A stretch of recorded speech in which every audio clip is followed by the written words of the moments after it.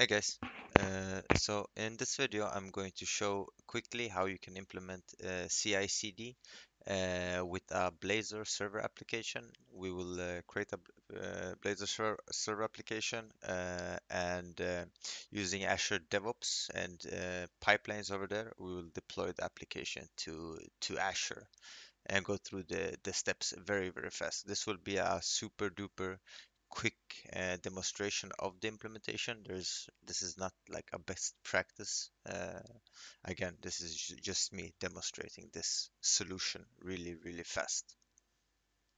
Okay, so in in order, to start, we need to go to our uh, to our uh, DevOps organizations, we, and we can do that by going to this resource, DevOps organization, and then go to My DevOps organizations.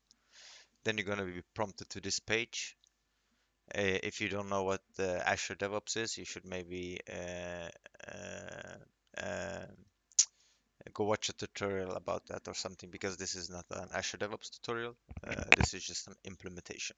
From here, we will create a new project. I will just call this uh, Blazor uh, server, Blazor server app, and we're just gonna go create. Again, no best practices included here, just a quick demonstration now we want to go to repos we're gonna uh, we don't actually don't have to in initialize one from here. We're gonna go start Visual Studio Code. Uh, Visual Studio. From here we create, create a new uh, Blazor server application. So we'll go Blazor server we'll go next. I'm gonna t I'm gonna name it uh, Blazor uh, demo. Go next.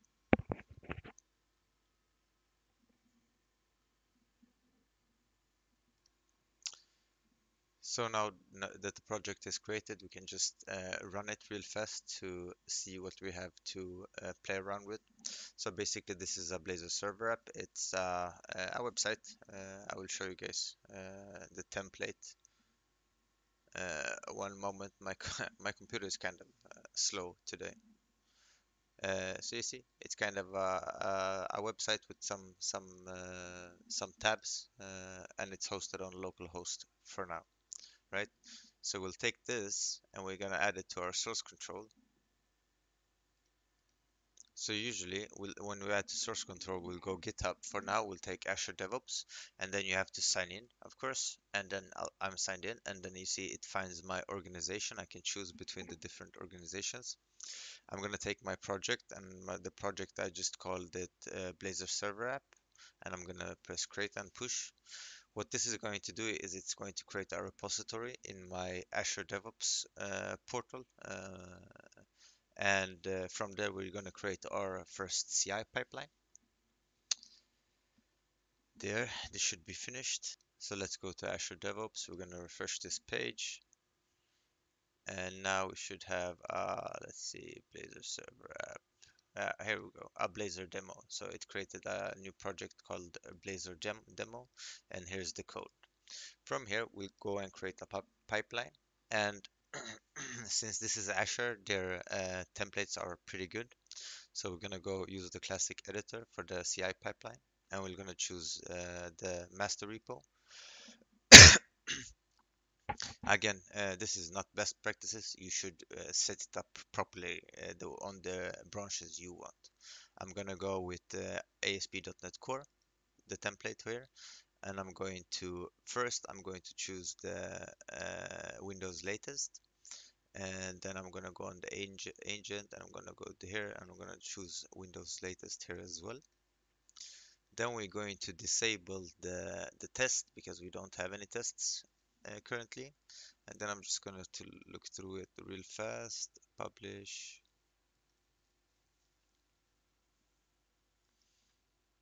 Okay we'll do save in queue. And we'll run this CI pipeline. So this this pipeline should work out of the box uh, with the template. We'll see. And if it works properly, the the drop, the artifact that it uh, should uh, create for us would be on a zip uh, zip folder. So this will take a minute or two. So now we're back. Again, this took like three minutes and it seems like everything uh, was uh, green checked. We're gonna go back and we're gonna check the artifact and if we go to related, we can see that it's done, created an artifact and the, here we have a Blazor demo zip. So now that we have our CI pipeline that creates an artifact, I can now go to release pipeline, uh, create a new pipeline from here. This pipeline will trigger whenever, uh, so trigger whenever a build pipeline is done, and that build pipeline is the one I just created, right? This is the default name of the CI pipeline I just created. And then we're gonna trigger continuous deployment like that. And then what's going to happen? Well, basically, whenever our CI pipeline is done and creates a, a, a artifact for us, we want to take that artifact and deploy it to our uh, Azure App Service. Uh, but in order for me to do that, I ha have to actually create my, my app service. So I'm going to navigate back to Azure and we're going to go to App Services and we're going to create an app service real, real fast. So we go to app services, we'll create a new resource group. I'm going to create this uh, Blazor uh, demo RG, create OK, give it a name, Blazor demo 123 to make sure it's unique, uh, write that. And we're going to code and the runtime stack is .NET 7 and then we'll do Windows, region, West Europe. There we go, we'll create a new uh, plan. I'll just call it uh, Blazor demo. And then we'll use the standard one. That's fine. Uh, we'll do review and create. Uh, so uh, it should be uh, created in any moment uh, any minute. Uh, so I created an app service. I'm going to make sure that this app service is up and running. And then after I've done that I'm going to create my my first step in my release pipeline Okay, so let's navigate to our resource group. Uh, from here, we can see that it's not uh, finished quite yet. We'll refresh. I'm really impatient with these kind of things. There we go. So there, there's our app service and we can go to our app service. So here's my app service. I, I hid some windows so that uh, some things don't show. Here you can see that uh, it's uh, indeed a web app that's up and running uh, with the default template that uh, Azure provides us. Now we can go back to uh, Azure DevOps. Here in our release pipeline, we can do go to add stage. Here we'll go empty job and we'll do one press one job one task. We'll make sure that this runs also on Windows latest here.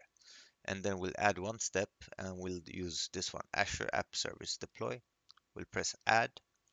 From here we'll go here and we need to add some stuff. So the first thing is you need to add the subscription so you need to add relevant subscription uh, to whatever you're using uh, there we go. So I had to, I have to hide my my subscription ID. So basically, you choose a subscription and then you press authorize. If you have a problem with that, well, I don't know. Write me a comment or send me an email or something, and I'll help you out with that. But basically, you have to connect uh, connect a service connection. And uh, from here, we want to add uh, the app service name and some other things. And I will post the recording again. So I chose the correct app service. I have a couple, but uh, Blazor Demo 123 was the one I created. Then for the package or folder, here uh, we we are going to press these three dots over here. Now in this window, you have to open up and press the blazor demo.zip, right? Make sure that it's uh, the location is something something drop blazor demo zip, right? So don't uh, choose whatever default in this section press the three dots and locate your zip folder and then press OK. Now after that's done, you can press save and now everything should should uh, be set up uh, properly.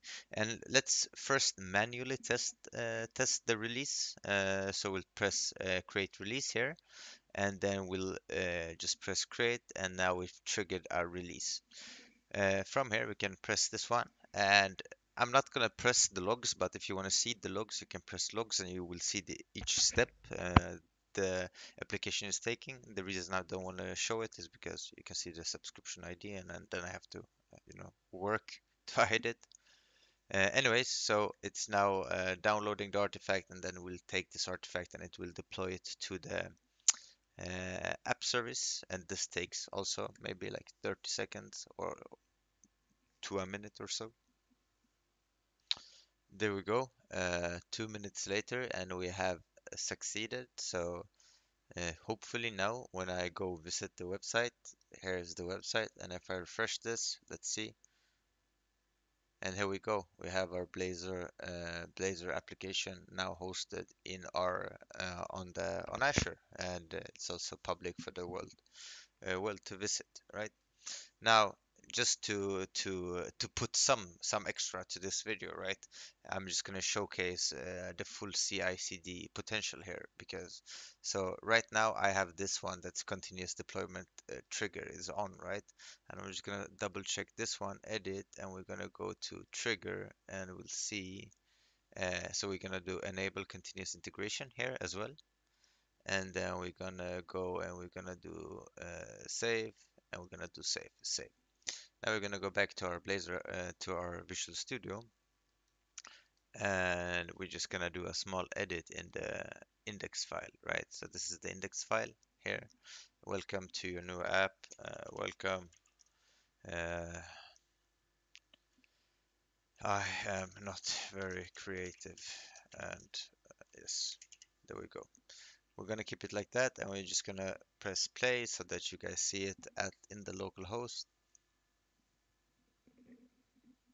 So currently on the local host it says welcome. I am not very creative right? Cool. Super cool. Really super cool. And on the official website right our website it says just hello world right? So now that, we've implemented CI CD every time I create a push to the master branch which you shouldn't do right? You should do pull request. Again this is not best practices. This is just a implementation demonstration. So here we're just going to add these changes and we're going to say did cool uh, stuff and I'm going to commit those changes and I'm going to push them. Now on this push, a change happened to the master branch, right? And then per default, my pipeline should trigger. And you can see my pipeline actually did trigger. It triggers just now. So basically, every time uh, something happens with the master branch, uh, this pipeline will now trigger because that's the way I set it up. Uh, you can set it up differently if you want to have different setups, right? So we're gonna give this a moment, but technically, as soon as this this is done, then uh, this should create a release too, because I did set up continuous deployment, right? So that continuous deployment had a trigger that listens to the pipeline. So whenever that pipeline is done, my CI pipeline is done, it will create an artifact. This release pipeline will take that artifact, that zip file, and deploy it to the Azure app service, right? Uh, but this might take a minute again because this pipeline has to, you know, go through all all its steps. Uh, currently still going. Uh, again, I don't want to open it up because uh, there might be some sensitive data or not, not, not really. I, I don't think there is actually. Uh, no, here it, it, it isn't. Anyways, you can see it's on the build stage right now. Uh, so when it's now with the build stage, it would publish and then publish artifact. We're gonna see if we can try to catch it in action. So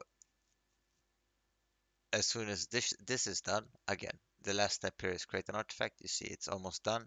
So we go to the release and you will see here shortly within like 10 seconds release 2 will be initiated.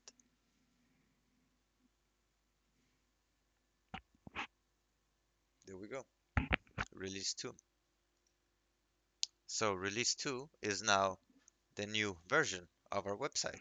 That version uh, contained hello, I'm not very creative a very creative sen uh, sentence, right? So this should take another minute or so. There we go. Uh, this time it only took a minute actually. So a minute later and it says we succeeded this uh, deployment. Now if we go to the website, we can actually see the website went down for a short period of period of time, right? Uh, sometimes you don't want this to happen because you might have customers on your website 24/7. This is when you would use deployment slots, right? But about that in another video. I'm gonna refresh the website now, and here we here you can see on the the Azure server, the public website to the world, you can see now that welcome. I am not very creative. So basically, every time I do a change in my code and uh, push it uh, to to uh, Git or my repos, that uh, will uh, then in turn initiate an event of stuff that eventually will take my code and deploy it to, to Azure. And there you go, guys. This was a very quick uh, tutorial of how you can implement CI/CD with Blazor, uh, Azure DevOps, and uh, Azure Web Apps. Again, no best practices were used here. I do not recommend you, you doing it like this. Uh, you should add branch policies. You should have multiple branches. Uh, uh, you should have multiple steps. You should have deployment stages, etc., etc. Again, quick demonstration. So thank you guys. Bye bye.